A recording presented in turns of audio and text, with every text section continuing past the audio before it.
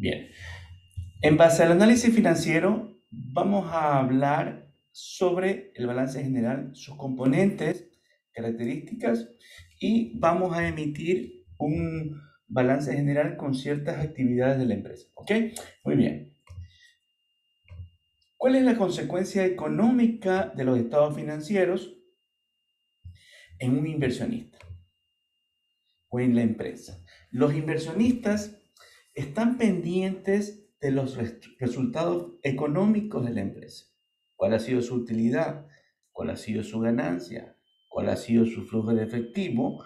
Porque mentalmente hay una relación entre esas, esas ganancias, esas utilidades, esos flujos con el precio de la acción.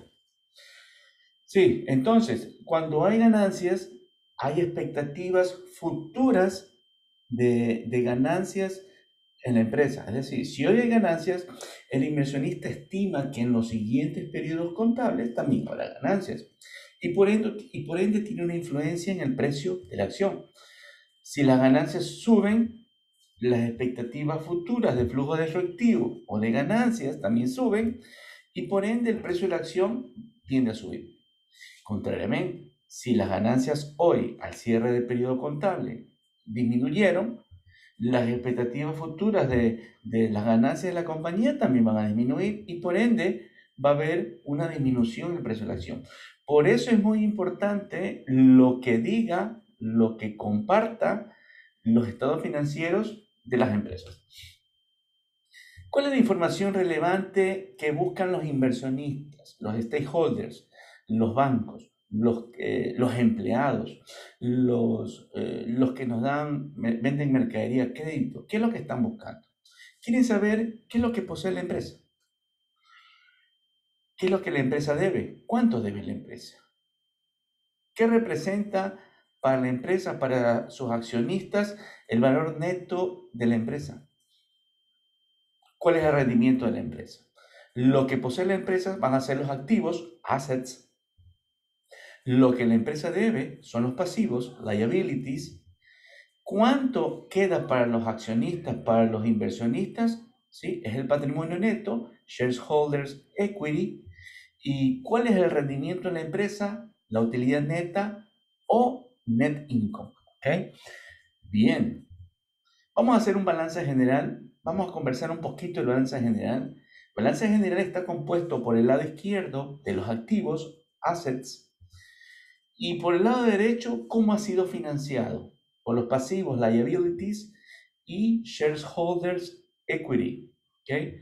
Nosotros podemos decir también que eh, shareholders equity eh, lo llaman también book value, net worth, residual claim. ¿okay? Y podemos transformar esto de aquí en una ecuación. Los activos totales de la compañía van a ser iguales a los pasivos más el patrimonio neto de los accionistas. Assets va a ser igual a liabilities más class shareholders equity. ¿Ok? Bien. ¿Qué son los activos? Los activos son los derechos de propiedad de una empresa. ¿Ok? Son todos los componentes, los equipos, maquinarias, recursos de la empresa para producir bienes y servicios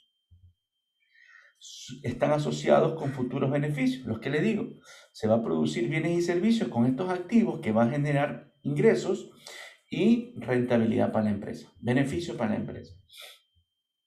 Los pasivos son los resultados de transacciones anteriores. Compro una maquinaria y la financio. ¿okay?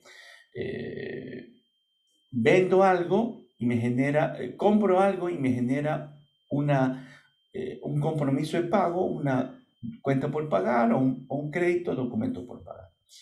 Son obligaciones futuras, ya sea en efectivo, ventas de productos y servicios pendientes por entregar también. Por el lado de shareholders equity o el patrimonio neto de los accionistas, es la diferencia entre los activos y pasivos. Es la parte residual que le queda a los accionistas de la empresa. Ok, Ejemplos de componentes dentro de los activos. Tenemos activos corrientes, activos no corrientes, pasivos corrientes pasivos no corrientes. ¿Cuáles son los activos corrientes? Son aquellos que vemos en efectivo o y otros activos que pueden convertirse en efectivo fácilmente. Ya vamos a ver cuáles son. El efectivo, obviamente, ya está disponible. Las cuentas por cobrar, lo que le vamos a cobrar las facturas pendientes por cobrar, va, va a ser efectivo rápidamente. Suministros, el inventario lo vendemos, cobramos y tenemos efectivo. Y gastos pagados por adelantado, prepaid expenses. ¿okay? ¿Y qué son los activos no corrientes? O como lo conocemos también como activos fijos. Son inversiones a largo plazo. Ahí están las maquinarias, los equipos, la tecnología. Son las inversiones a largo plazo que no pueden convertirse en efectivo. Se pueden convertir en efectivo, pero no rápidamente. Las inversiones a largo plazo, las propiedades, eh, eh, terrenos, edificios, plantas, maquinarias, equipos, etc. ¿Qué son los pasivos corrientes? Pasivos corrientes son compromisos y obligaciones que se deben cancelar dentro de un año. Dentro de un año. Eh, cuentas por pagar a los proveedores, salarios por pagar, impuestos por pagar, ¿sí? Y gastos acumulados de gastos acumulados de la empresa. ¿Qué son pasivos no corrientes o a largo plazo? ¿Sí? Son aquellos compromisos o obligaciones que se, deben cumplir después de un año. Préstamos a largo plazo, por ejemplo, y, y, shareholders equity, ¿cuál es el patrimonio neto? Lo que contribuyen, lo que contribuyen inicialmente los accionistas o la por emisión de acciones, es el capital contributed capital, lo que se ha contribuido, y las ganancias retenidas. Termina un periodo, genera un ingreso neto, un, beneficio neto, net income, que, se, que la empresa tiene dos opciones. O lo devuelve a los accionistas por medio de dividendos o lo reinvierte transformándose en ganancias retenidas, retained earnings. ¿Ok? Muy bien. Entonces, podemos transformar el balance general en una ecuación. Activos va a ser igual a pasivos más SE que es Shareholders Equity. ¿okay? Muy bien.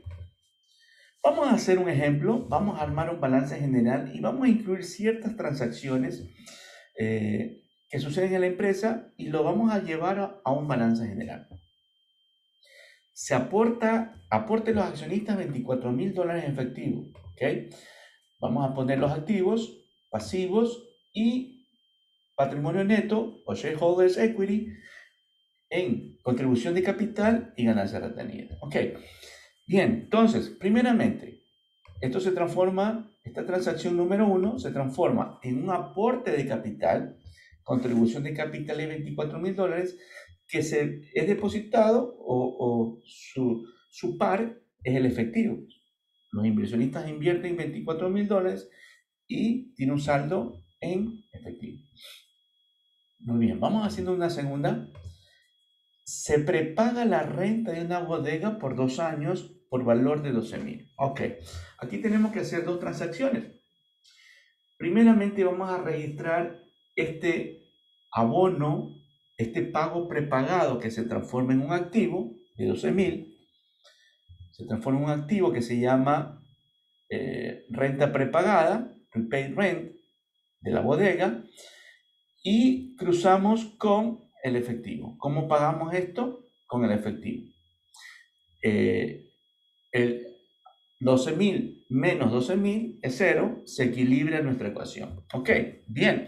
Pero al final del periodo, al final del periodo, uno de los pagos se convierte en gasto, porque ya eh, lo hemos prepagado, pero al final tenemos que pagar el primer año. Significa que vamos a rebajar en una segunda transacción 6 mil dólares de renta prepagada y lo cruzamos con ganancia retenida. Aquí vamos a hacer un paréntesis.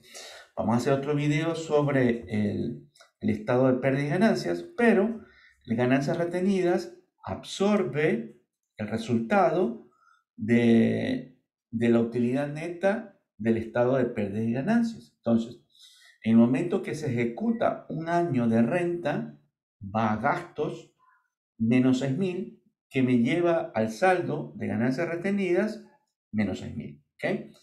Lo vas a comprender mejor en el video de estados de pérdida y ganancias.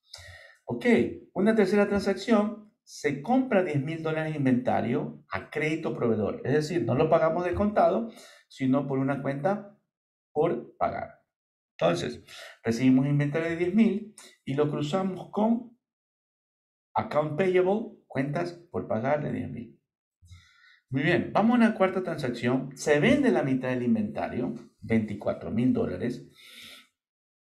Se cancela 20 mil en efectivo, nos cancelan 20 mil en efectivo y 4 mil a crédito menor al año. Es decir, una cuenta por cobrar. Entonces, esta cuarta transacción, registramos las ventas. Al registrar las ventas de 24 mil, me va a afectar el pérdida y ganancia y por ende me va a aumentar en 24 mil las ganancias retenidas. ¿okay? Los cuales cobramos 20 mil en efectivo y 4 mil en account payable, account receivable, cuentas por cobrar. Cruzamos una, eh, la segunda transacción porque recuerda que hemos vendido inventario y eso representa el costo de venta de el costo de venta de los productos. Ok. Entonces, vamos a rebajar el inventario de 5 mil dólares porque dice que hemos vendido la mitad del inventario. Teníamos 10 mil, ahora 5 mil, y eso lo cruzamos con 5 mil en el costo de venta que representa una disminución de las ganancias retenidas. ¿okay?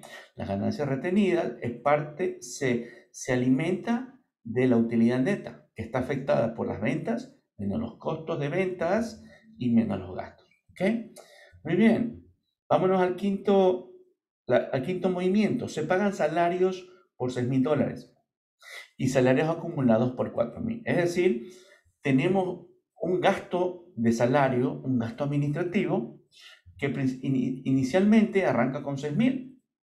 ¿Cómo pagamos esos 6 mil? En efectivo. Y luego también hemos quedado en pagar 4 mil, queda pasivo, y sumado los dos me, eh, da menos 10 mil. Entonces, en realidad tenemos un gasto administrativo de, salarios de menos 10 mil los cuales pagamos 6.000 en efectivo y 4.000 como una, este, eh, por salarios por pagar, ¿okay? salarios acumulados por pagar. ¿okay? Muy bien, sigamos. Sexto movimiento, se hace un contrato para vender inventario en dos años. Es decir, vendo, pero voy a facturar en dos años. Y mi cliente me da el avance de las ventas de 6 mil dólares. Entonces voy a vender 6 mil dólares y me da el dinero adelantado. Sexto, tenemos eh, eh, deferred revenue, ventas diferidas, que se, se transforma en un pasivo y a la cual hemos recibido el efectivo. Y se equilibra nuestra ecuación. Vamos a un séptimo, se paga dividendos, hemos ganado dinero, la empresa ha ganado dinero y piensa devolver a los accionistas en forma de dividendos. Entonces, esta séptima, ganancias retenidas, sale mil dólares y obviamente sale del efectivo, cash. ¿Ok? Muy bien. Así hemos hecho eh, algunos movimientos para que puedas entender eh, cómo armar el balance general sumamos cada cuenta y estos saldos de las cuentas son los que vamos a ponerlo en nuestro balance general. Efectivo, quedamos con 31 mil. Account receivable, cuentas por cobrar 4 mil. Eh, renta prepagada, 6 mil. inventario, 5 mil. Account payable, cuentas por pagar, 10 mil. ¿Sí? Ingresos de ventas diferidos, 6 mil y salarios por pagar acumulados 4.000. El, el aporte de los accionistas fue de 24.000 y la empresa ha generado ingresos con estos activos financiados por los pasivos y ha generado una ganancia de 2.000 que se acumula en ganancias retenidas. Sumamos y nos cuadra la ecuación. Total de activos 46.000, total de pasivos 20.000 Y total de patrimonio neto, 26 mil. Sumado 20 mil más 46 mil, está equilibrado nuestro balance en general. Un pequeño análisis. El dinero que se fue invertido por los accionistas sirvió para invertirlo en activos. Algo quedó en efectivo, hemos vendido, ha generado, se ha producido bienes y servicios, que ha generado, ingresos. Eh, parte de ello fue financiado eh, gracias a los pasivos y este es el movimiento de la empresa. Se invierte dinero, se compra activos, se produce y generamos beneficio económico. ¿Ok? Que se ve reflejado en las ganancias retenidas de la empresa, a pesar de que se distribuyó mil dólares en dividendos. Gracias por ver el video. Suscríbete al canal, compártelo si te gustó. Te saluda tu amigo Ricardo Contreras.